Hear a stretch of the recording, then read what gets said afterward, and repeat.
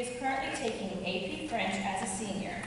His first French class at CHS last, his first French class here at CHS. Last year as a junior, he rocked AP Spanish. This person has a real knack